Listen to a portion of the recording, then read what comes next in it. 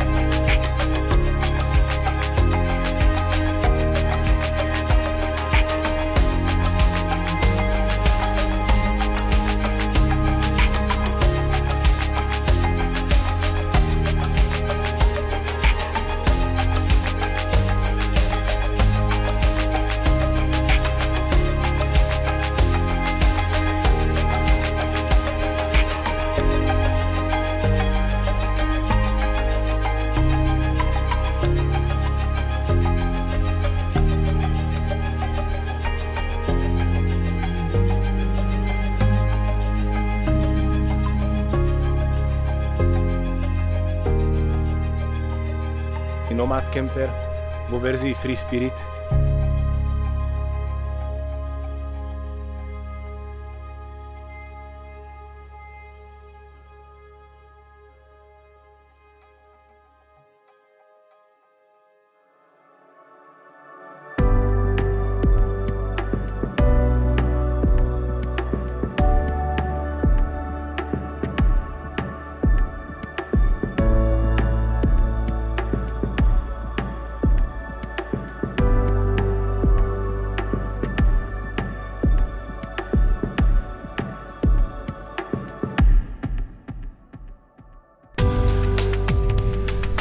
Čaute ľudkovia, takže opäť pekne krásne vítam u úplne posledného videjka tejto série, v ktorom ako som slúbil by som vám nejako priblížil troška ten, celý ten projekt Free Spirit 2, ako to, ako to celé vzniklo, ako sa to rodilo, koľko to stálo, ako to bolo náročné a tak ďalej.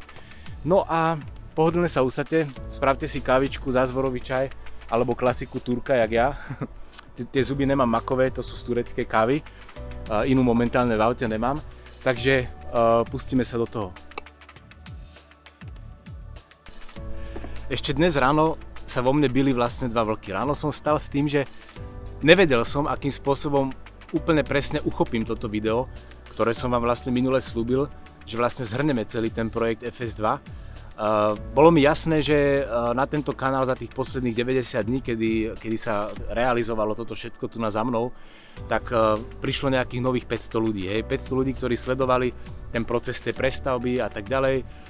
Boli to možno ľudia, ktorí hľadali nejaké nápady, nejaké idei, možno nejakú radu, nevieme. A pre tých ľudí vlastne, ktorých zaujíma primárne tá prestavba toho auta a to, čo všetko je s tým vlastne spojené, tak uh, som si pripravil vlastne dole do popisku videa pre vás uh, súbor, v ktorom sú vlastne nalistované, alebo respektíve tam zoznam všetkých tých komponentov, takých tých zásadných, ktoré do toho auta boli implantované. A aby ste si mali možnosť pozrieť, hej, kde som to kúpil, koľko to stálo a tak ďalej, proste ušetríme si tým pádom tie otázky. Uh, Rado, kde si zohnal tú konzolu, Rado, kde si zohnal field a tak. Takže máte to tam všetko pripravené. No a pre ten zbytok tejto komunity vlastne, ktorá, ktorá sleduje nielen, nielen uh, projekt uh, Free Spirit 1, 2, ale sleduje aj tak troška tú moju cestu, tak som si vlastne pripravil troška takéto zhrnutie, taký ten príbeh, ktorý stál za tým celým, taký ten impuls, ktorý ma vlastne uh, k tomu celému doviedol a vysvetlím vám aj prečo. Tí, ktorí sledovali moju švajčiarskú cestu, tú prvú, tak už vedia proste, že žijem tú tézu, že, že ten vesmír je interaktívny, že to proste všetko nejak so všetkým súvisí a že nič sa nedieje len tak. Uh, téma tej, tej švajčiarskej cesty až s odstupom času vlastne som zistil, že bola vlastne, že som si tam na, za, to, za toho pol roka mal možnosť poriešiť tak troška seba samého, také tie, tie medziludské vzťahy, tú rodinu, partnerstvo a tak ďalej, hej. Uh, nebola to úplne akože cestovateľská téma, že by som tam niekde objavoval Ameriku na tej ceste, ale bola to téma taká pre mňa. Uh, samozrejme, uh, projekt FS2 a aj napriek tomu, že v tých 11, 11 posledných videách to vyzeralo naozaj len o tom, že staviam tú dodávku, že proste to hej, madielka a neviem čo bla bla, taký matrac a taký šporák, uh, nieslo to takého toho technického ducha, tak zároveň vlastne aj celý ten projekt FS2 niesol nejaký príbeh v pozadí, taký príbeh, o ktorom som vedel len ja, ktorý som nejako ako tak úplne moc akože nezverejňoval, pretože som ho potreboval dopozorovať až do, do úplného konca či to naozaj klapne, či naozaj uh, sa dokážu realizovať tie sny, ktoré si človek nejako vizualizuje, predsavza a tak ďalej. No, celé to vlastne začalo s tým, že po ukončení tej švajčiarskej cesty som si začal v Čechách hľadať prácu. Hej, pozeral som pracovný trh, rôzne ponuky, zistil som, že vlastne nič také, čo by ma nejako oslovilo alebo nadchýnalo, vlastne na tom trhu nebolo. Vtedy sa vlastne začala vo mne, vo mne ozývať taká tá, tá túžba znova do niečoho pichnúť tie prsty, proste do niečomu sa venovať, čo pod tými prstami porastie. Nevedel som si to ale úplne, úplne predstaviť, akým spôsobom to vznikne, len som vedel, že som sa chcel venovať nejak výrobe obytného auta znova, hej, že by som, som chcel znova vniesť do niečoho plechového, proste nového ducha. Tak. Uh, 27. decembra bol ten magický deň, minulý rok, kedy som sa vracal vlastne zo Slovenska, zo Slovenska domov do Čech a ešte som vtedy cestoval so Spiritom jednotkou, hej. Zastavil som na pumpe, potreboval som natankovať naftu a vlastne ak som stál pri tom stojane som zistil, že vlastne z auta sa valí nejaké teplo. Nevedel som odkiaľ, myslel som si, že ten tankovací stojan je nejaký vykurovaný alebo že je proste na tej pumpe vonku nejaký radiátor. Ten radiátor bolo vlastne ľavé predné koleso môjho auta, kde vlastne bola zaseknutá brzda, hej, zahrdzavil sa tam ten brzdič a tak a celú cestu mi to koleso vlastne brzdilo. Vtedy som si vravel, že jasné, ja som si povedal, že chcem sa akože vrtať v tých obytných autách, ale nie do tej miery, aby som ich neustále opravoval a proste stále ich privádzal znova opäť k tomu životu, resuscitoval, ale by som ich rád vyrábal, hej, že proste sme sa s tým vesmírom nejako ako nepochopili, hej. A keď som prišiel domov, tak tá myšlienka dobehla do konca. Anet, Anet som vlastne oznámil, že, že, že mám novú víziu, mám plán, a to vie, že by som znova odišiel do Švajčiarska. Hej, Anet skoro skolabovala, vyzeralo to skoro, že sa zase roz, rozídeme, že, ten, že toho pol roka, ktorého som tam predtým staral, že, že vlastne ako to bolo úplne o ničom. Hej, takže, uh, ale dopovedal som tú vetu do konca. Znelo to asi na ten spôsob, že odcestujem zase do Švajčiarska, Eh, určite teda na pol roka, hej, aby, aby tá doba uh, zarobenia nejakých tých, tých financií bola čo možno najdlhšia, ale zase, aby nebola úplne mega deštruktívna, hej, že teda ako po, po stránke vzťahov a tak, to sme ešte nevedeli, čo bude, že bude korona a podobné tieto záležitosti. Zarobím nejaký kapitál, vrátim sa, Predá sa Spirit 1, nevieme, že či sa predá za mesiac, dva po návrate alebo za 5, to, to bolo úplne, že vo vzduchu celé. Kúpim druhé auto a to prestaviam, hej. A taký bol, taký bol plán, aby som sa ja zase mohol realizovať a tak ďalej. E, v podstate budem mať zase vykryté nejaké obdobie, kedy sa budem môcť venovať konečne tomu, čo ma, čo ma baví. E, pol roka straveného vo Švajčiarsku budem intenzívne venovať tomu, aby som sa zase nejakým spôsobom v tej oblasti tých obytných aut troška zdokonalil, troška si načítal uh, mindset tých, tých ľudí, ktorí kupujú vlastne obytné auta, prečo ich kupujú a tak ďalej. Veľmi ma to tam lákalo. A vtedy vlastne Anet uh, padol šúter zo srdca a obi, obaja sme pochopili, že tým smerom vlastne vedie cesta. No a na to, aby sa vlastne celý tento plán mohol začať realizovať, musel tam vlastne klapnúť ten predpoklad, že si tú prácu v tom Švajčiarsku nájdem. Hej. A vedel som, že, že tušil som, že vlastne v, tom, v tej firme, kde som pracoval predtým, že sa má vlastne vymeniť garnitúra, že tú, že tú firmu má prevzať proste Pascal, uh, s ktorým som dovtedy mal také tie vzťahy len také akože na, na takej uh, kamarádskej úrovni s odstupom, hej. Uh, poslal som mu e-mail, naznačil som mu, že by som sa teda znova, znova, znova chystal do Švajčiarska, stráviť tam nejakú dobu a tým pádom som im dal ako prvým možnosť dať si tú možnosť navzájom sa znova nejako vyvinúť nejakú spoluprácu. Zostala mi sánka na prsách, keď som, keď som vlastne v, te, v tom jeho e-maili uh, pocítil, že by bol rád, keby som prišiel, že vlastne je to úplne najlepšia možná doba, uh, kedy môžem nastúpiť, ideálne teda už zajtra, pretože ten môj nástup sa vtedy z toho miesta, kde som odišiel, už vlastne tiež odchádza. Takže som zistil, že ako keby tá, ako keby tá práca tam tú dobu, ako tých, tých pár mesiacov, čo som bol v Čechách, uh, na mňa čakala. Hej, keď som sa potom s odstupom času uh, o tom s Pascalom bavil, tak, uh, tak mi sám povedal, že Rado, ty si, ty si mi napísal ten e-mail presne v tom momente, kedy, kedy, kedy my sme už vedeli, že proste musíme to nejako vyriešiť, že proste musíme tam do, na to oddelenie, kde si ty pracoval, niekoho nájsť a nikto taký tu momentálne po ruke není.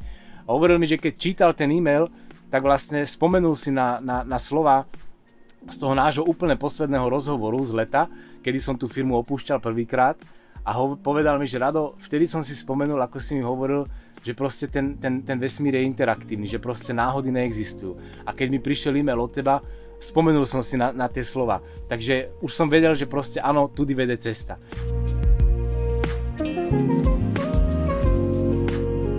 No a nemusím vám teda asi dvakrát vysvetľovať, že ako, ako sa mi tá práca páčila, ako som bol s spokojný, čím všetkým som si tam prešiel, ako sme si dali ďalšiu gargamelovú terapiu a tak ďalej.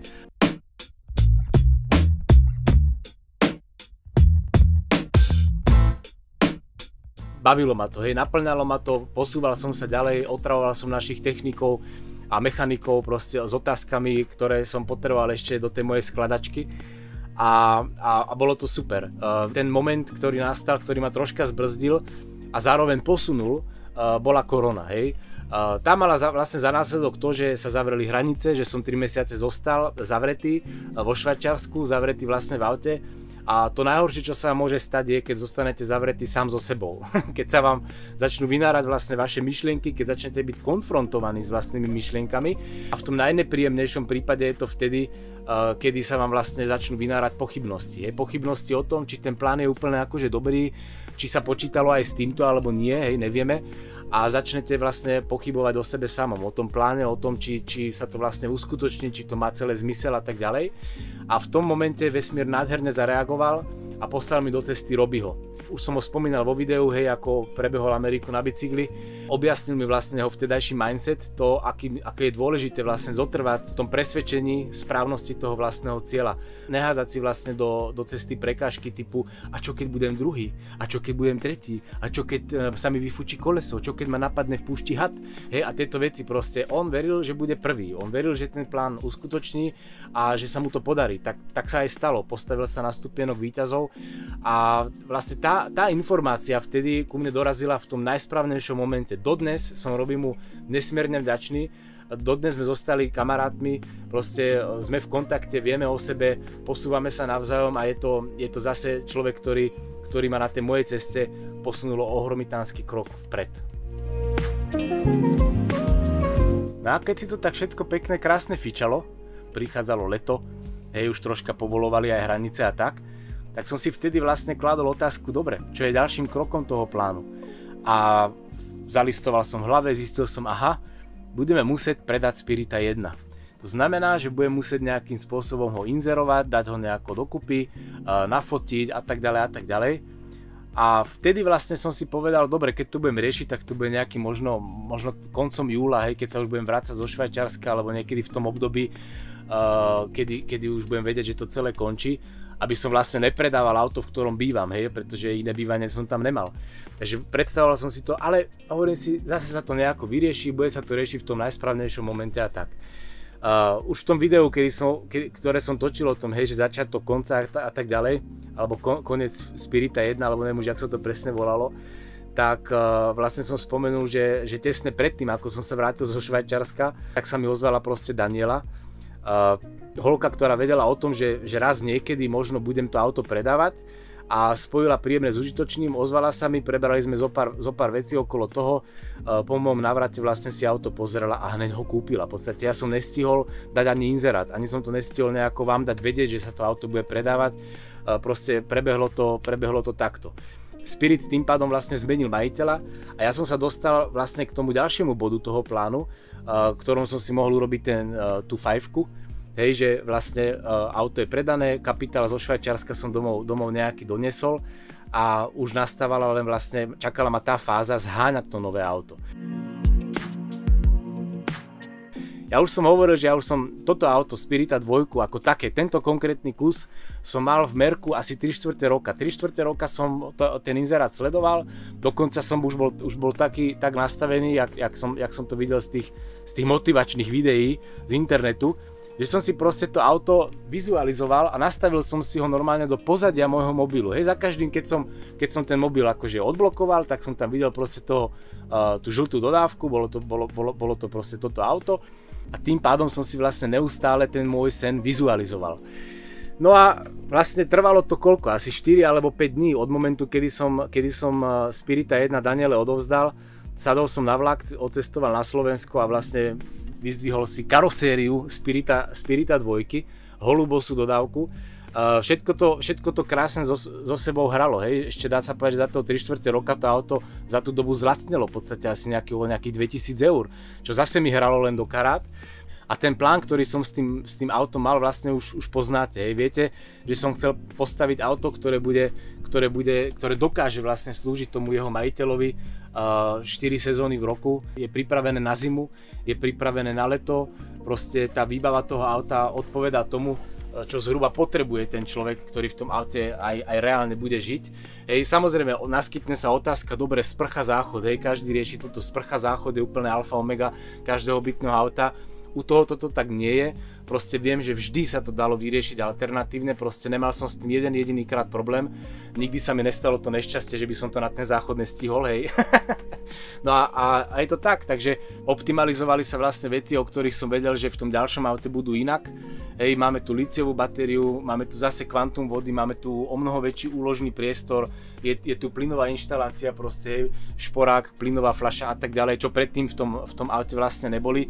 Takže myslím si, že z môjho pohľadu, hej, nemusíte s tým súzniť, hej, z môjho pohľadu som to v tej mojej vízii vlastne dotiahol do dokonalosti, pre, pre mňa samotného. Ja som s tým autom veľmi spokojný. No a tak som vlastne túžil, že si to auto, že, že to auto vlastne budeme užívať. Z Anet budeme chodiť na nejaké tie výlety, prípadne si spravím nejaký, nejaký dlhší road trip a tak ďalej ale ten plán sa mi troška skrížil. Keď som prvýkrát postavil vlastne Spirita, Spirita 2 u seba na dvor a začal som vlastne riešiť veci ako okná, hej, uh, osádzal sa solár, proste rezalo sa do auta, pílilo sa a tak, tak mi jedného dňa zazvonil telefon a na jeho druhom konci bola, bola, bola pani, Marion sa volá, ktorá z hodov okolností pozná Danielu.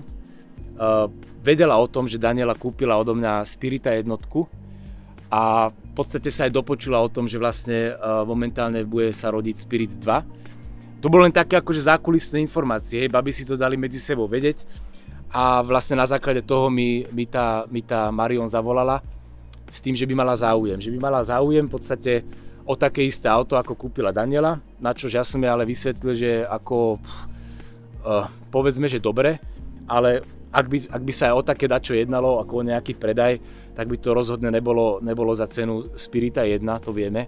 Proste toto auto je o 10 rokov mladšie, proste technika v tom a celkovo ten, tá, tie materiály a tak ďalej budú, budú troška na inej úrovni, ako boli v jednotke. Na čož povedala, že, že rozhodne to akože premyslí, premyslel som si to aj ja a začal sa rodiť v podstate ďalší bod toho môjho plánu a to je ten, že v podstate ak by naozaj nastala situácia, že by Spirita 2 niekto kúpil, že by, že by, že by som zistil, že to má, má v podstate ohlas, že, že by tá moja práca niekoho potešila, že by tú moju prácu niekto ocenil a ja by som sa mohol ďalej realizovať a ďalej byť kreatívny, ďalej investovať energiu do čoho, čo rastie, tak som si povedal, že ako prečo ne? Ako, prišlo mi to ako skvelý nápad. Uh, samozrejme, uh, chcela auto vidieť, chcela vidieť, že uh, ako to bude vyzerať. Ja som povedal, uh, pani Zlata, ešte v tom aute nie je namontované nič, hej, sú vyrezané okná, ako ja vám ešte momentálne nemám čo ukázať. Hovorím, pozrite si to potom, keď už, keď už bude dať čo. Bral som to také, že taký, že potenciálny zákazník, hej. No, prešiel čas, hej, montovali, montovali sa tu veci postupne, hej, pri, pribúdali uh, voda, kúrenie, všetky tieto veci už postupne boli v aute namontované volala mi, že už by rada sa prišla pozrieť hovorím, no, ešte počkajme, ešte, ešte, ešte vydržme, že celkový ten obraz vlastne toho auta si budeme môcť, si myslím si, že obaja spraviť až v momente, kedy bude, dá sa povedať, že už finišovať, kedy už sú miesto, miesto tejto dosky tu na, miesto toho sedenia tu budú normálne matrace, kedy už si to človek bude vedieť aj predstaviť zhruba, ako to funguje, ako to vyzerá. No a samozrejme, vrátil som sa, vrátil som sa zo Slovenska, kde sa ušili matrace osadil som tu na, osadil som tu na poslednú dosku, hej, k tomu, k tomu bufiku, k tej skrinke. Zavolal som jej teda, že, že auto je v podstate pripravené, že ak chce, tak si ho môže prísť pozrieť, hej, aby, som, aby sme vedeli čo a ako. No a Marion prišla, Marion si auto pozrela a Marion auto kúpila. Takže takto rýchlo sa dokázal v podstate zrealizovať plán, ktorého koniec v podstate som pred rokom ani nevidel. Hej. Dneska keď sa pozrieme na auto, na, je, oh, no, mám krč, na jeho predok, tak vidíme vlastne, sú to české vývozné značky. Je to tak, ľudkovia. Uh, prešlo to proste, prešli 3 mesiace kreativity, radosti z práce, sebarealizácie a dneska vidím, že to má zmysel, že to malo zmysel a zmysel to bude robiť aj do budúcna. Dneska máme štvrtok 17. decembra, zatra v piatok okolo 13. hodiny si Marion auto prevezme. Podstate všetko klaplo tak ako, tak ako malo, naplnilo to jej očakávania. Keď som s ňou volal, vravela, že už, že už sa moc teší, že je šťastná. A to je to v podstate odovzdať tú energiu tej mojej, mojej, mojej práce niekomu inému, ktorý, ktorý si ju bude vlastne naďalej môcť užívať.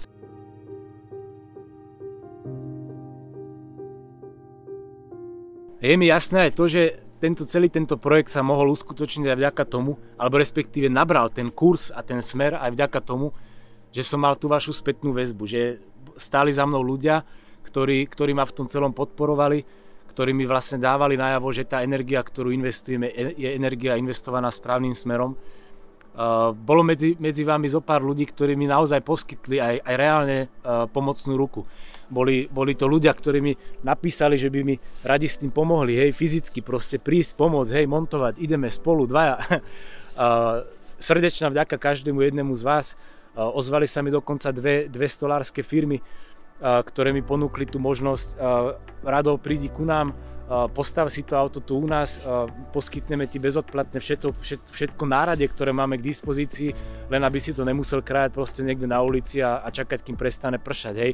Proste s láskou som odmietol z jediného dôvodu, potreboval som si to vyskúšať a čeknúť, či to dokážem sám vlastnými rukami, uh, holými rukami jeden človek, jeden človek, jedno auto.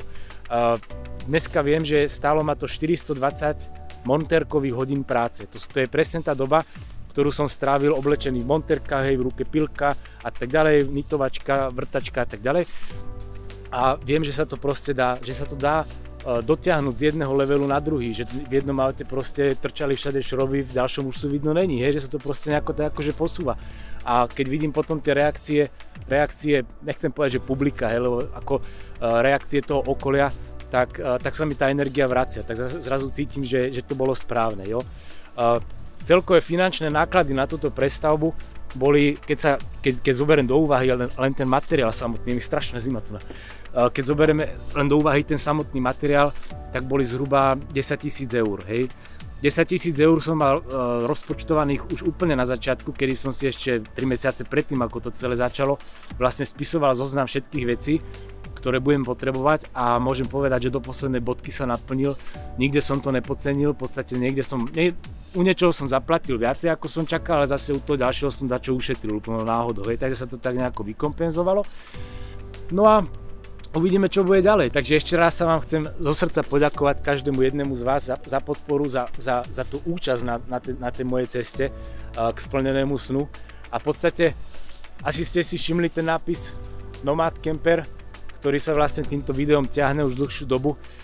Bola to strategická zmena názvu z toho dôvodu, že pokiaľ na tom aute bola nálepka Free Spirit, tak dá sa povedať, že budilo to v ľuďoch dojem, alebo hlavne teda v nemeckých colníkoch, keď som behal cez tú hranicu, Česko, Nemecko, Švajčarsko a tak, že každý, kto je free spirit, je proste nejaký Rastafarian a proste uh, marihuana a toto, hej, už, som sa, ne, už sa jeden colník nehal počuť aj tým, že mi povedal, videl mi tam tú elektronickú cigaretu, a povedal, že proste no to viete, to od elektronickej cigarety k heroínu to už je len kúsok, hej.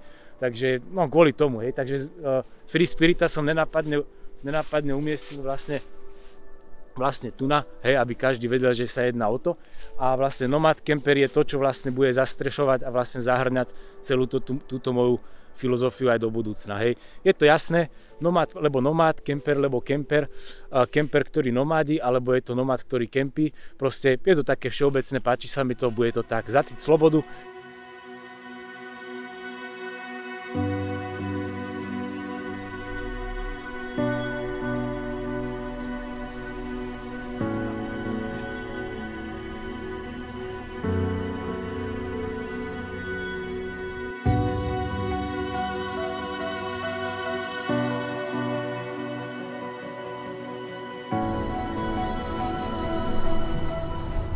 Takže ľudkovia, toto bol krátky a rýchly príbeh Spirita 2. Uh, udialo sa to neskutočne rýchlo. Nikdy by som si to nedokázal takto v hlave naplánovať, načasovať, predpripraviť a uskutočniť. Proste tu je vidno, že na pozadí toho celého vlastne bola tá ľahkosť. Ľudia sa objavovali sami od seba, prichádzali mi do cesty informácie, ktoré som potreboval na to, aby som toto celé vlastne mohol, mohol takto zrealizovať, ako ste to dneska mali možnosť vidieť proste prišli same od seba. Uh, zostávam so sánkou na prsách, hej, som z toho, som z toho veľmi milo prekvapený a, a som šťastný. A to je dôležité. Uh, nájsť proste v, v sebe to, čo nás, robí, čo nás robí šťastný, venovať sa tomu, čo nás baví a investovať energiu tým smerom, ktorým to rastie. No ja vám želám ešte veľmi príjemné prežitie tých Vianočných sviatkov nastávajúcich. Máme 18. december, za nejaké 3 dni sa nám končí táto svetelná e, slnečná dekáda, nastáva zimný slnovrat. Do toho momentu sa vlastne uzatvárajú staré veci, rozrobené veci z tohoto roka. Krásne to sedí, zase vidím, ako to krás... ten timing toho vesmíru je proste úplne dokonalý. A čo máme prichystané do ďalšieho roka, necháme sa prekvapiť.